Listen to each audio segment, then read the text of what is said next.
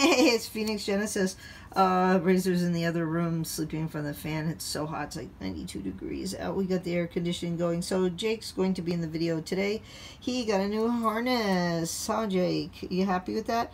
It's the Vibrant Life Large Hunter Step-In Harness for dogs. And I like this harness. I, I don't remember how much it was. Maybe around less than $20, but it's uh, adjustable, so it's a chest girth between 22 and 36 inches. So it's great if you um, have even a puppy that might be seven, eight months old that's still growing, and you don't have to keep buying more harnesses. So it's just a step in. They one foot in, in front of the other in the front, and you pull it up, you snap it, and that's it. Very simple, very lightweight and this one is reflective the other one was just um, orange and this one's like a reflective one they didn't have the orange one. Uh, again we got this in Walmart I think it was like less than $20 and money back guarantee or replacement which um, pretty much on all their doggy products so can't go wrong with that and there it is orange adjustable girth and it's a one inch width um, yeah and all these uh, cancer warnings on the back. That always scares me. Anyway, let's take a look.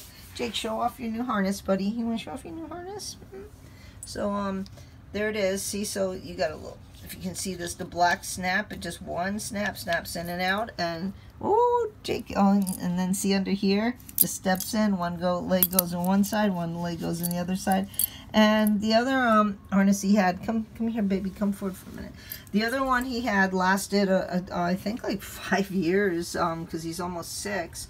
And we got it when he was an adult. Come forward, baby. Come on.